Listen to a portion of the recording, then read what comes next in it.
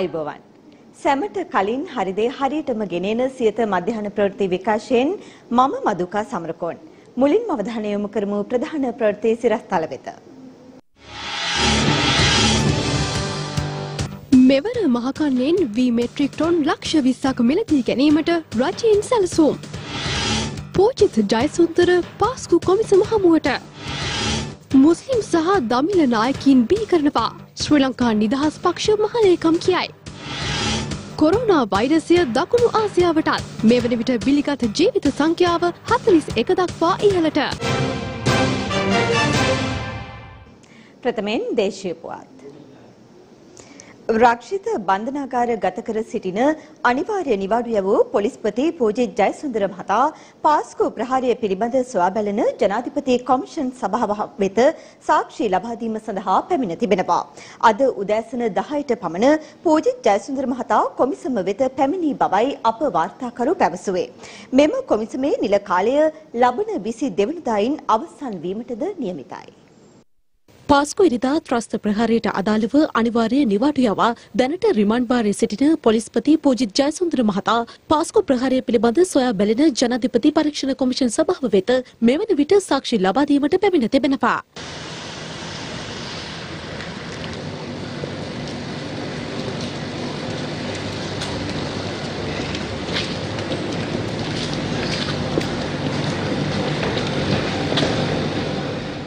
බන්ධනාගාර van රථයකින් පෙරවරු 10ට පමණ පූජිත් ජයසුන්දර මහතා එම කොමිසම වෙත රැගෙන බවයි අප වාර්තාකරු ප්‍රකාශ කළේ. ඔහු මෙම ජනාධිපති පරීක්ෂණ කොමිෂන් සභාවට පැමිණ සාක්ෂි ලබා දෙන පළමු අවස්ථාවද මෙය වනවා. මීට අමතරව අද දිනේ සාක්ෂි විභාගය සඳහා කැඳවා තිබූ බස්නාහිර පළාත් හිටපු ආණ්ඩුකාර අසත් සාලි මහතාද අද දිනේත් සාක්ෂි ලබා දීම සඳහා ජනාධිපති කොමිසම වෙත පැමිණ තිබෙනවා.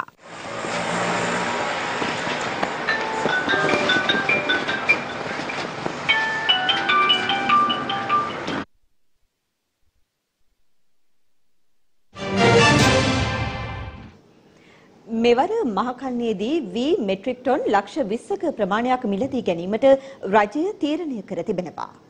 දෙදහස් දහනවය දෙදහස් විස්ස මහකන්නේ වී අස්සුණු මිලදී ගැනීමට රජයේ සහතික මිල ප්‍රතිපත්තියක් ක්‍රියාත්මක කර ඇති බව ජනාධිපති මාධ්‍යංශයේ නිවේදනයක් නිකුත් කරමින් සඳහන් කළා. ප්‍රමිතින් යුතු වී කිලෝවකට රුපියල් 50ක අවම මිලක් ඉන් හිමි වනු ඇතේ.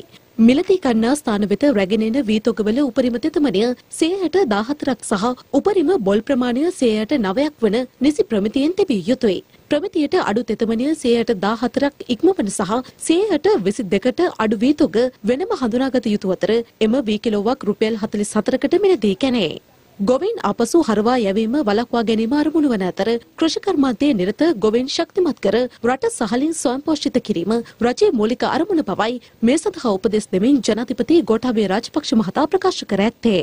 වැඩසටහන සාර්ථකව දියත් කිරීමෙන් සිංහල දෙමළ අලුත් අවුරුද්දට පෙර කෘෂිකාර්මික ප්‍රදේශවල ආදායම් සංසරණය වැඩි වෙතයි අපේක්ෂා කරන අතර රජයේ මේ සඳහා වැය කිරීමට නියමිත මුදල රුපියල් බිලියන 100ක් වී මිලදී ගැනීම මහවැලි කෘෂිකර්ම වාරිමාර්ග සහ ග්‍රාම්‍ය සංවර්ධන අභ්‍යන්තර වෙළඳ ආහාර සුරක්ෂිතතා සහ පාරිභෝගික සුබසාධන අමාත්‍යාංශවල සහාය ඇතිව දිස්ත්‍රික් ලේකම්වර විසින් වී අලෙවි මණ්ඩලයේ අධීක්ෂණය යටතේ සිදු කරනවා.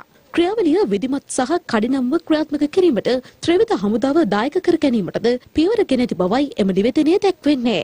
මිලදී ගන්නා උපරිම වී ප්‍රමාණය අක්කරයක් සඳහා කිලෝග්‍රෑම් දහසක්. එමෙන්ම මෙවර මහකන්නේ මෙට්‍රික් ටොන් ලක්ෂ 20ක ප්‍රමාණයක් මිලදී ගැනීමට සිදුවනු ඇතැයි ගණන් බලා තිබෙනවා. වැඩසටහන ක්‍රියාත්මක කිරීම ජාතික ප්‍රමුඛතාවක් සේ සලකා සමස්ත රාජ්‍ය සේවයටම අස්වනු නෙළන කාලය තුළ කැපවීමෙන් ආදර්ශමත්ව කටයුතු කළ යුතුයයි ජනාධිපති ගෝඨාභය රාජපක්ෂ මහතා උපදෙස් ලබා දී තිබෙනවා. දරිද්‍රතාවය තුරන් කිරීම සහ ජීවනෝපාය සංවර්ධනය සඳහා කාර්යසාධක බලකායක් ස්ථාපනය කර ඇති බව ජනාධිපති මාධ්‍යංශය නිවේදනයක් නිකුත් කරමින් සඳහන් කළා. මෙම කාර්යසාධක බලකාය විශ්‍රාමික නියෝජ්‍ය භාණ්ඩාකාර ලේකම් එස්.බී. දිවාරත්න මහතාගේ සභාපතිත්වයෙන් යුතු වන අතර විවිධ ශේෂ්ත්‍රයන් නියෝජනය කරන දැනුම සහ අත්දැකීම් බහුල සමාජිකයින් 12 දිනකගෙන් සමන්විතයි. සෞභාග්‍ය දැක්ම රාජ්‍ය ප්‍රතිපත්ති මගින් සුරක්ෂිත රටක් සෞභාග්‍යමත් දේශයක් ඵලදායී පුරවැසියෙක් සතුටින් ජීවත්වන පවුලක් යන තේමා යටතේ එකම දැක්මක් තුළ දේශීය ගොඩනැගීම සඳහා ක්‍රියාත්මක වීමේ පැහැදිලි ඒකාබද්ධ වැඩපිළිවෙලක් මෙමගින් ඉදිරිපත් කර තිබෙනවා.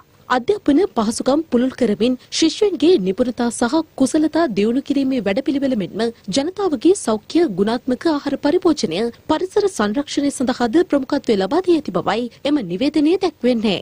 සමාජිකයින්ගේ විචක්ෂණභාවය සමාර්ථය සහ විශ්වාසවන්ත භාවය කෙරෙහි භක්තියෙන් යුතුව කාර්යසාධක බලකාය පත් කළ බව ජනාධිපති ගෝඨාභය රාජපක්ෂ මහතා ප්‍රකාශ කළා. මුස්ලිම් සහ ද්‍රවිඩ නායකයින් බිහිකිරීමේ වගකීම ශ්‍රී ලංකා නිදහස් පක්ෂයේ මීළඟ අරමුණ බවත් එය කළ හැකි වන්නේ ශ්‍රී ලංකා නිදහස් පක්ෂයට පමණක් බවත් එම පක්ෂයේ මහලේකම් රාජ්‍ය අමාත්‍ය දයාසිරි ජයසේකර මහතා පවසනවා. ඒ මඩකලපුව ප්‍රදේශයේ පැවති උත්සවයකට එක්වෙමින්. ශ්‍රී ලංකා නිදහස් පක්ෂය ගෝඨාභය රාජපක්ෂ මහත්මයාට සහයෝගය දුන්නේ එක්සත් ජාතික පක්ෂෙ තිබිච්ච ඒ අරාජික පාලනයට විරුද්ධව. ඒ නිසා අපිට කොයිතරම් ප්‍රශ්න තිබුණත් අපිට ගිහිල්ලා එක්සත් ජාතික පක්ෂයේ ආණ්ඩුවකට සහයෝගය දෙන්න බැරි වුණා ඒ වෙලාවට. අපේ පක්ෂ දෙකට ගැනනේ අපි UN පැත්තේ ආණ්ඩු කරන්න ගිහිල්ලා. අපේ පක්ෂයේ මිනිස්සු පොජ්ජල කරනකොට ගියා අපි ආණ්ඩු කර UN පැත්තේ ආණ්ඩු කරලා ගිහිල්ලා. ඒ නිසා එකපාරක් කරන මොඩලේ තව පාරක් කරන්න හොඳ නැහැ. නිසා පක්ෂයක් විදිහට අපි පක්ෂය ජයග්‍රහණය කරන්න වැඩ කරනවා. අපේ පක්ෂයේ මූල මූලික බීජ සිංහල බෞද්ධකම. ඒ වගේම අපේ පක්ෂයේ උපසභාපතිවරු විදිහට පළවෙනියෙන් අපි දමිළ සහ මුස්ලිම් නායකයෝ පත් කරගත්තා. ඉතිහාසයේ හැමදාම සිද්ධ වුණේ අපේ ආණ්ඩුවක් හදපුවාම අපේ දමිළ නායකයෝ මුස්ලිම් නායකයෝ අපි ගොඩනැගිලා ඒකම විනාශ කරනවා. මුස්ලිම් ජනතාවට අපේ පක්ෂය අපි හයර කරලා දුන්නා. දමිළ පක්ෂවල අපි දමිළ අපේ පක්ෂය හයර කරලා දුන්නා. අපේ පක්ෂයේ දෙමළ නායකයෝ මුස්ලිම් නායකයෝ අපි ගොඩනැගුවේ නැහැ. ඒක තමයි අපි කරපු වැරද්ද. දැම්මත් ඒක එකෙන් පාඩම් ඉගෙන ගන්න ඕනේ. ඉතිහාසයේ අපේ දමිළ සහ මුස්ලිම් නායකයෝ අපි හැදුවේ නැතුණාට අනාගතයේ අනිවාර්යයෙන් ශ්‍රී ලංකා නිදහස් පක්ෂයේ දමිළ සහ මුස්ලිම් නායකයෝ හදනවා. මොකද හේතුව පොජන කරමුන්ට දමිළ සහ මුස්ලිම් නායකයෝ ගොඩනගන්න අමාරුයි. නමුත් ශ්‍රී ලංකා නිදහස් පක්ෂයේ දමිළ සහ මුස්ලිම් නායකයෝ ගොඩනගන්න පුළුවන්. තවදුරටත් ආණ්ඩුව ඇතුලේ දමිළ සහ මුස්ලිම් නායකයෝ ශ්‍රී ලංකා නිදහස් පක්ෂය හයර් කරන්න අපි දෙන්නේ නැහැ. එක්සත් ජාතික පක්ෂ නායකත්ව අර්බුදය හුවා දක්වමින් වත්මන් ආණ්ඩුව ජනතාවට දුන් පොරොන්දු අමතක කරලීමට උත්සාහ දරන බව එක්සත් ජාතික පාර්ලිමේන්තු එක්සත් ජාතික පක්ෂ පාර්ලිමේන්තු මන්ත්‍රී චමින්ද විජේසිරි මහතා පවසනවා. ඒ බදුල්ල ප්‍රදේශයේදී මාධ්‍ය වෙත අදහස් දක්වමින් මේ වෙනකොට එක්සත් ජාතික පෙරමුණේ ඉදිරි මහමැතිවරණ ජයග්‍රහණය කිරීම සඳහා අපේ ශක්තිමත් නායකත්වය සජිත් ප්‍රේමදාස මැතිතුමාට ලබා දීලා තියෙනවා. එක්සත් ජාතික පක්ෂයේ නායකත්වය ලැබුණත් එතුමාට කරන්න තියෙන්නේ ඉදිරි මහමැතිවරණේ ජය ගන්න පුළුවන් වැඩ පිළිවෙල නිර්මාණය කිරීම. එක්සත් ජාතික පක්ෂයේ පක්ෂ අර්බුදය මේ වෙනකොට හමාර වෙලා තියෙනවා. අපි ප්‍රශ්නයක් කරගන්නේ නැහැ.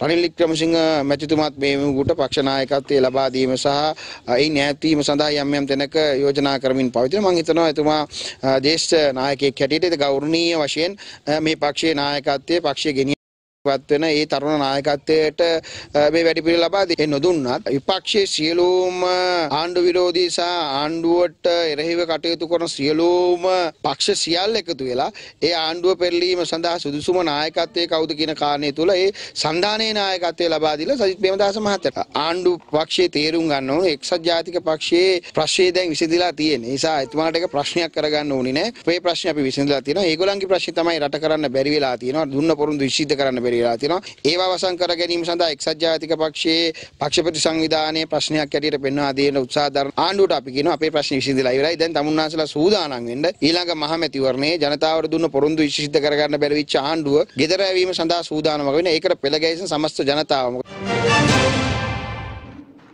එක්සත් ජාතික පක්ෂයට නිසි නායකත්වයක් නොමැති වීම හේතුවෙන් ඉදිරි මහමැතිවරණයට මුහුණ දීමට නොහැකි තත්වයක් මතුවී ඇති බව රාජ්‍ය අමාත්‍ය ජයන්ත සමරවීර මහතා පවසනවා. ඒ කළුතර ප්‍රදේශයේදී මාධ්‍ය වෙත අදහස් දක්වමින්. එක්සත් ජාතික පක්ෂයේ එළඹෙන පාර්ලිමේන්තු මහමැතිවරණය ඒකට නායකයෝ හොයන්න බෑකට ඔලු හයි කරන්න බෑ.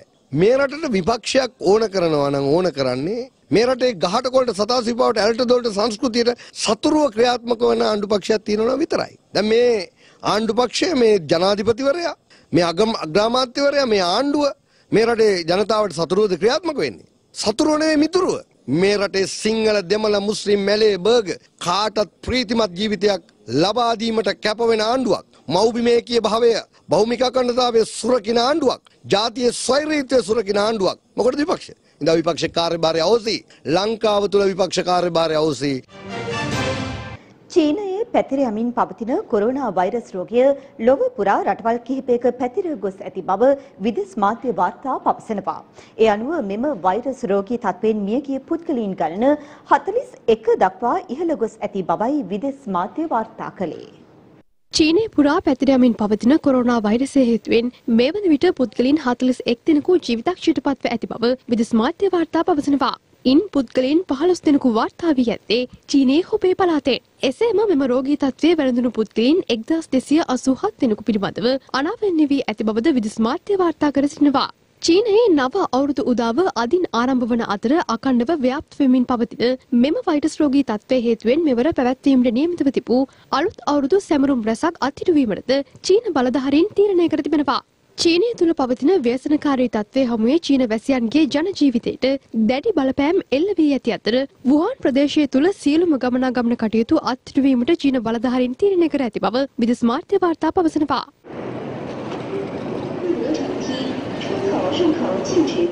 මේ අතර මෙම වෛරස් රෝගී තත්ත්වය හේතුවෙන් රෝහල් තුළ පවතින අර්බුදය හමුවේ චීනයේ වුහාන් ප්‍රාන්තයේ නව රෝහලක් ඉදිකිරීමට චීන බලධාරීන් සැලසුම් කර තිබෙනවා. ඒ සියලුම කටයුතු දින හයක් තුළ නිම කිරීමටයි සැලසුම් කර ඇත්තේ. වර්ග මීටර් විසි පන්දහසක පමණ භූමි ප්‍රමාණයක ඉදිවන මෙම නව රෝහල ඉදිකිරීම සඳහා කැනීම් යන්ත්‍ර සියයක් පමණ යොදාගෙන ඇති බවයි විදෙස් මාධ්‍ය වාර්තා කළේ.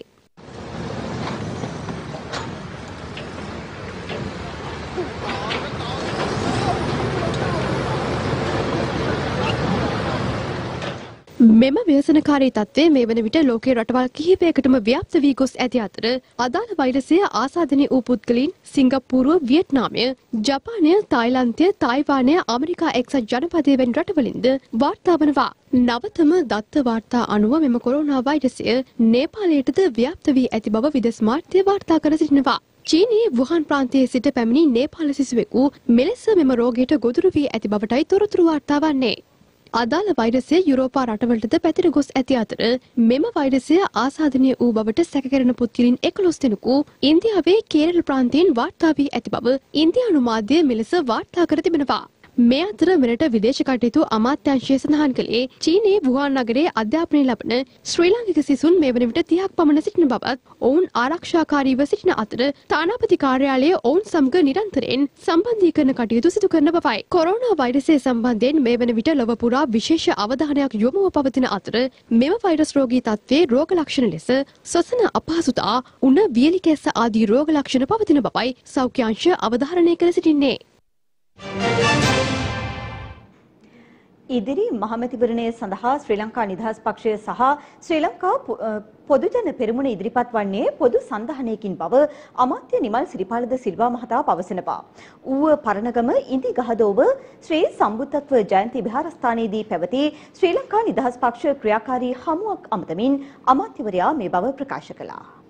අපි ඊළඟ එළඹෙන මහා මැතිවරණයේදී තමුන්නාසලා ගෝඨාභය රාජපක්ෂ මැතිතුමාට යම් සහයෝගයක් දුන්නද ඒ සහයෝගය එළඹෙන මැතිවරණයේදී අපේ සන්දානයට දෙන්න ඕනේ. මොකද ඒකසල මැතිවරණයට අපි ඉදිරිපත් වෙන්නේ පොදු සන්දානයකින්. එතකොට ලකුණ පුටුවද බුලත් කොලේද එහෙම නැත්නම් පොහොට්ටුවද කියන එක තාම තීන්දුව කළා නැහැ.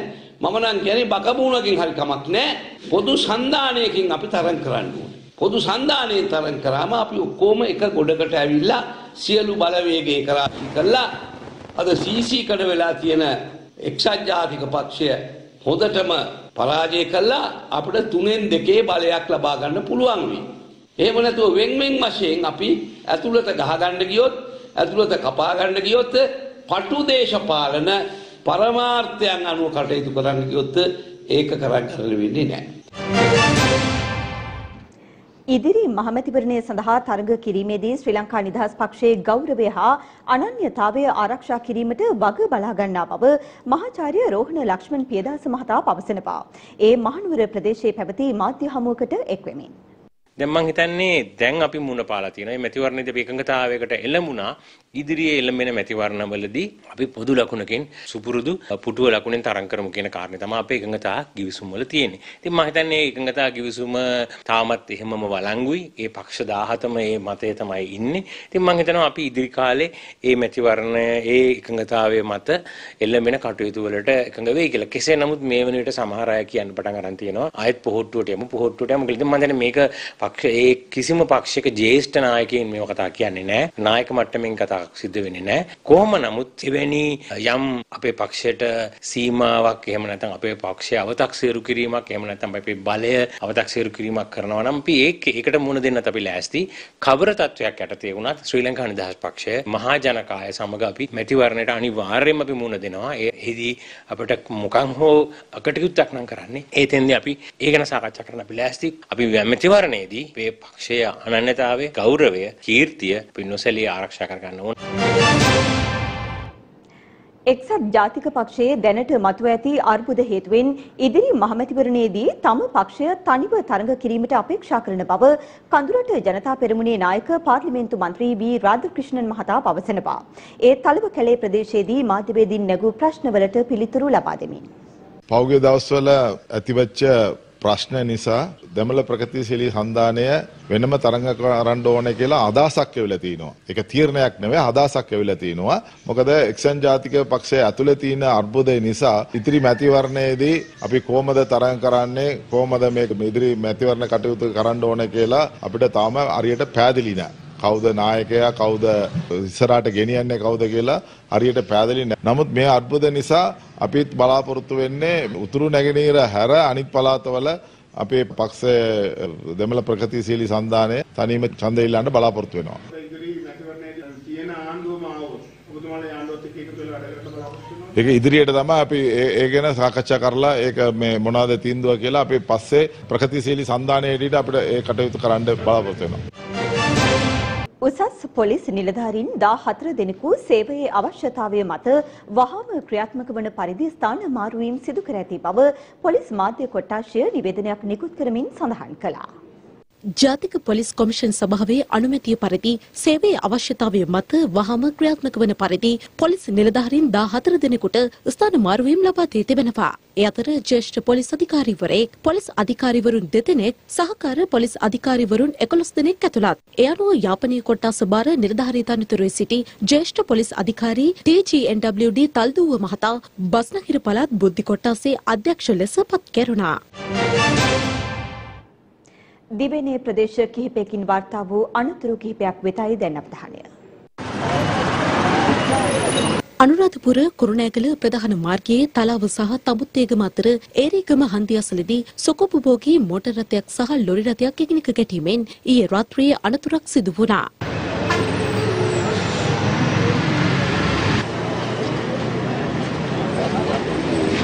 අනතුරින් සුකොප්පභෝගී මෝටර් රථයේ ගමන්ගත් මවක් සහ දරුවන් දෙදෙනෙකු බරපතල තුවාල ලබා තඹුත්තේගම මූලික රෝහලට සහ අනුරාධපුර ශික්ෂණ රෝහල වෙත ඇතුළත් කර තිබෙනවා. උඩුගම කාබිල් හන්දිය අසලදී යතුරුපැදියක් සහ මෝටර් රථයක් එකිනෙක ගැටීමෙන් ඊයේ රාත්‍රියේ අනතුරක් සිදු වී තිබෙනවා. අනතුරින් යතුරුපැදියේ ගමන්ගත් පුද්ගලයන් දෙදෙනෙකු බරපතල තුවාල ලබා උඩුගම මූලික රෝහල වෙත ඇතුළත් කිරීමෙන් අනතුරුව ඔවුන් වැඩිදුර ප්‍රතිකාර සඳහා කරප්පිටිය ශික්ෂණ රෝහල වෙත මාරු කර යවා තිබෙනවා. මෝටර් රථ රියදුරුකී අපේක්ෂාකාරී රියදහවණී හේතුවෙන් මෙම අනතුර සිදු වී ඇති බවයි පොලිසිය ප්‍රකාශ කළේ. අනුරාධපුර කුරුණෑගල ප්‍රධාන මාර්ගයේ ශාවස්ත්‍රිපුර සුදුපාල මසලදී අද උදැසන මෝටර් රථයක් සහ කැබ් රථයක් ගැටීමෙන් අනතුරක් සිදු වුණා. කොළඹ සිට අනුරාධපුර දෙසට ධාවනය වූ මෝටර් රථයක් සහ අනුරාධපුර සිට කොළඹ දෙසට ධාවනය වූ කැබ් රථයක් මුහුණට මුහුණ ගැටීමෙන් මෙම අනතුර සිදු වී ඇති බවයි වාර්තා වන්නේ. අනතුරින් මෝටර් රථයේ ගමන්ගත් පුද්ගලයන් දෙදෙනෙකු ප්‍රතිකාර සඳහා අනුරාධපුර ශික්ෂණ රෝහල වෙත ඇතුළත් කර තිබෙනවා. මෝටර් රථයේ රියදුරට නින්ද යාම හේතුවෙන් මෙම අනතුර සිදු වී ඇති බවයි පොලිසිය සඳහන් කළේ. බලංගොඩ නගරයේදී නවතා තිබූ බස් රථයක යතුරුපැදියක් ගැටීමෙන් ඊයේ පස්වරුවේ අනතුරක් සිදු වී තිබෙනවා. යතුරුපැදිකරුට වේගය පාලනය කරගත නොහැකිව මෙම අනතුර සිදු වී ඇති අතර අනතුරින් බරපතල තුවාල ලැබූ යතුරුපැදිකරු ප්‍රතිකාර සඳහා බලංගොඩ මූලික රෝහල වෙත ඇතුළත් කර ඇති බව අප වාර්තාකරු ප්‍රකාශ කළා.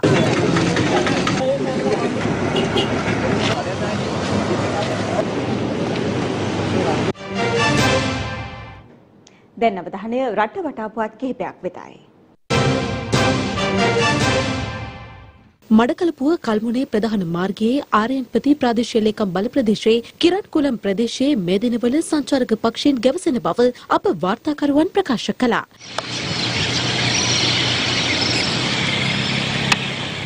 මෙම පක්ෂීන් ඕස්ට්‍රේලියාව සහ නවසීලන්තය ආදී රටවල් වලින් පැමිණි බවටයි තොරතුරු වාර්තා වන්නේ.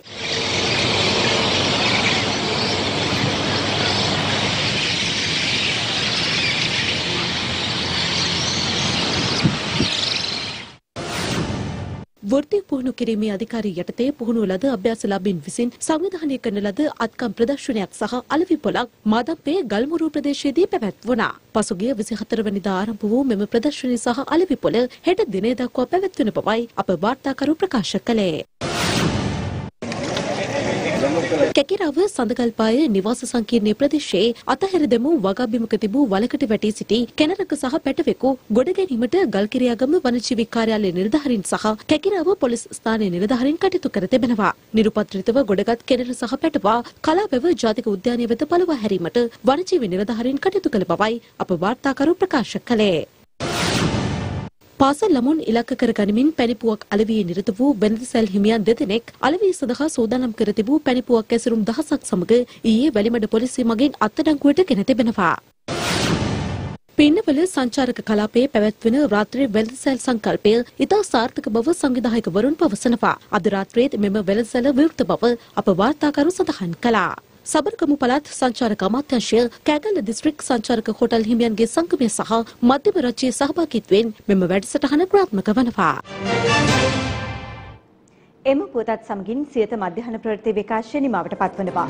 තවත් උණුසුම් පුවත් දැනගැනීම සඳහා පිවිසෙන්න www.siyathanews.lk අපගේ වෙබ් අඩවිය වෙත. අප නැවතත් හමුවන්නේ සවස් 6 අපගේ ප්‍රධාන ප්‍රවෘත්ති විකාශයත් සමග. සුබ දවසක්.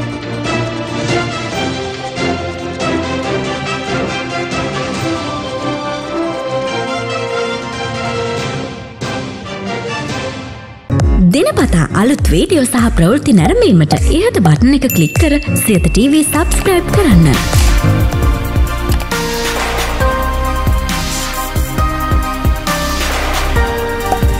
අලුත් වීඩියෝ ගැන මුලින්ම දැනගන්න මෙම සීනුව ක්ලික් කරන්න.